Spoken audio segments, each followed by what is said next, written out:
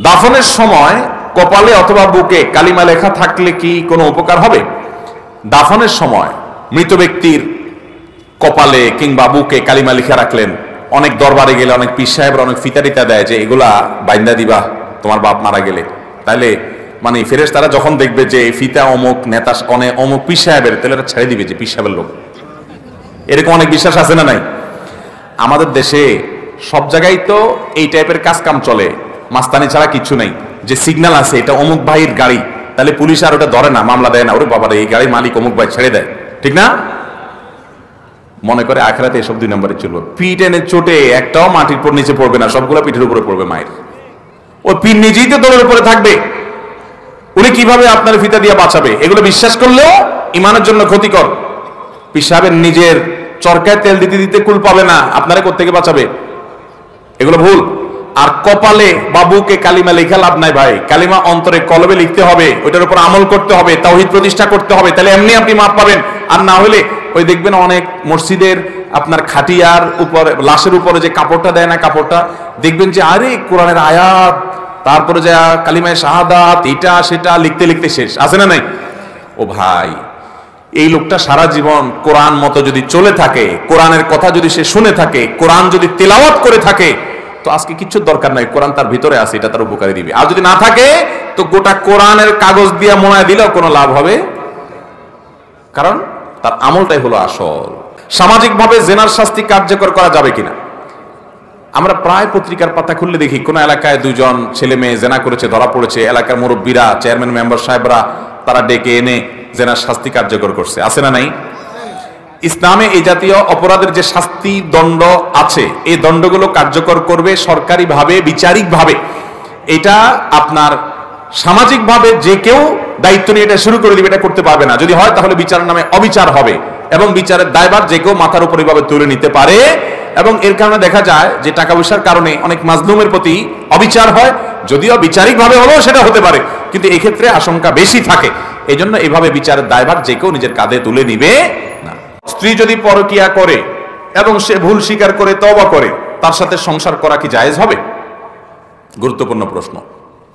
আমাদের সমাজে এখন পরকিয়া এটা এরকম ভয়াবহ আকারে ছড়িয়ে পড়েছে। বেশিরভাগ পরিবারেই এই রোগটা আছে। পরকিয়ার আবার অনেকগুলো স্টেপ আছে। ধরেন আপনি বিবাহিত পুরুষ, বউকে বলতেছেন যে, তুমি ছাড়া আমার জীবনটাই মিশা, তোমার ছাড়া আমি বাঁচবো না।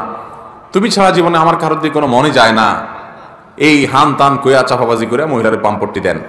এদিকে ফেসবুকে মেসেঞ্জার অন্যান্য মেয়েদের সাথে ইটিস পিটিস করেন। আছে না নাই? ইমতে বহুত মেয়েদের সাথে অনেক বদমাইশি করে বেড়ায়। আছে না নাই? তাহলে এটা পরকিয়া না? এটা পরকিয়ার প্রাইমারি স্টেজ সরাসরি জেনা করে গেলে তার হাত ধরে পালায় চলে গেলেন। ওটাতে একেবারে ফাইনাল জাহান নামে একেবারে দিলেন যা পার কি।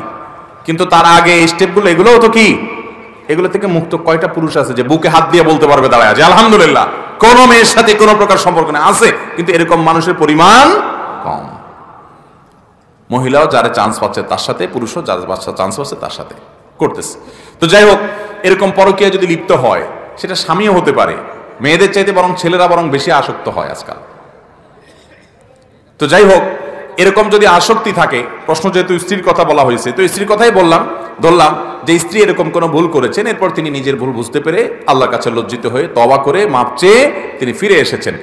আপনার কাছে সেটা ধরা পড়ার পর তার তবাটাও আপনার কাছে মনে হয়েছে যে তিনি আসলে অন্তর থেকে খাঁটি তবা তবায় নাসুহা করেছেন এবং তিনি ফিরে এসেছেন। আপনার কাছেও সে দুঃখ প্রকাশ করেছেন, আর কখনো করবেন না, সংকল্প করেছেন। আপনার কাছে মনে হয়েছে যে হ্যাঁ তার তবাটা টিকবে মনে হয়। তাহলে অবশ্যই আপনি তাকে ক্ষমা করে তার সাথে সংসার করতে পারবেন, শুধু পারবেন না, বরং ক্ষমা করে তাকে সুযোগ দেওয়া আপনার উচিত। মানুষ ভুল হয়েছে। যদি আপনার একান্ত রুচিয়ে না কুলায় বা আপনার কাছে মনে হয় না, এভাবে বারবার সে তবা করে, আবার সে একই কাজ করেছে, তাহলে ভিন্ন কথা। তাহলে এরকম নোংরা চরিত্রের মানুষ থেকে আপনি সরে আসার চেষ্টা করবেন। কিন্তু প্রথমবার তিনি যদি তবা করেন এবং ভুল স্বীকার করেন, তাহলে আপনার সুযোগ দেওয়াটাই উত্তম হবে। অবিবাহিত ইমাম খতিবকে নিয়োগ দেওয়া কি জায়েজ হবে? ওই যে আমি আগে বলছিলাম না, দেখছেন প্রমাণ পাইছেন? যত মাসলাম আসাইলার ফতোয়া, ভুল ফতোয়া প্রয়োগ, এগুলো হয় মহিলাদের উপর, আরেকটা হলো হুজুরদের উপরে, মসজিদের ইমাম সাহেবদের উপরে। বুঝতে পারছেন? আচ্ছা অবিবাহিত ইমাম খতিবরে আপনার নিয়োগ দেওয়া যাবে কিনা প্রশ্ন করছেন? এই প্রশ্ন কেন করলেন না যে অবিবাহিত লোকরে মসজিদ কমিটিতে ঢুকানো যাবে কিনা? এটা তো প্রশ্ন হওয়া দরকার ছিল। অবিবাহিত লোক মসজিদে ইমামের মুক্তারি হইতে পারবে কিনা? এটা তো প্রশ্ন করেন নাই। তাহলে বোঝা গেল এটার সাথে আসলে আপনার ইমাম খতিব নিয়োগ দেওয়ার কোনো সম্পর্ক অবিবাহিত যদি হয়, তিনি যদি যোগ্য হন, তাকে নিয়োগ দেওয়া যাবে। তবে হ্যাঁ এটা ঠিক, একটু ম্যাচিউর একটু ভার ভারত্ব না হলে মসজিদে দেখা যায় যে চ্যাংড়া পোলাপান হলে কখন কোনটা ঘটায়, কি করে, ভার ভারত্ব না থাকে, তখন মুশকিল। আবার অনেক সময় দেখা যায়, বয়স অনেক বেশি হয়েছে, কিন্তু চ্যাংড়ামি এখনও যায় নাই। আবার অনেকের বয়স কম মাসাল্লাহ কিন্তু ভারী আছে বয়স। আছে না নাই? আমি মিরপুরে যখন দুই হাজার দুই সাল, তিন সালের দিকে মামতি করেছি আরও দশ নম্বরে এক জায়গায় মরিপুরে এক জায়গায়, তো আমি ছোট ছিলাম। দাড়ি খুব বেশি গজাই নেই তখন। আমার কিছু কিছু মুসলিরা বলতো যে, মরিচ ছোট কিন্তু ঝাল অনেক। কারণ হলো যে, আলহামদুলিল্লাহ, অন্যায়, অনাচার দেখলে জিহুজুর জিহুজুর করার স্বভাব আমার কোনোদিনই ছিল না। আমি যেটা অন্যায় দেখতাম সেটা আমি খুব বলিষ্ঠভাবে বলতাম তার বিরুদ্ধে। অতএব ইমাম সাহরা সত্য বলতে কখনো দ্বিধা করবেন না। এটা হলো তাদের মূল বৈশিষ্ট্য। কোরআন এবং সুন্দর আলোকে মসজিদ পরিচালনা করবেন, মসজিদের দায়িত্ব পালন করবেন। এটা তাদের দায়িত্ব। সেটা যদি থাকে, তাহলে সেক্ষেত্রে বয়স কম হোক, অবিবাহিত হোক, তাতে অসুবিধা নাই। তবে হ্যাঁ ম্যাচিউর থাকা দরকার, সেটা তো বলাই বাহল কোরআন মুখস্থ করে ভুলে গেলে কি গুণা হবে? কোরআন মুখস্থ করার পর যদি ভুলে যায়, তাহলে শুধু গুনাহ হবে না।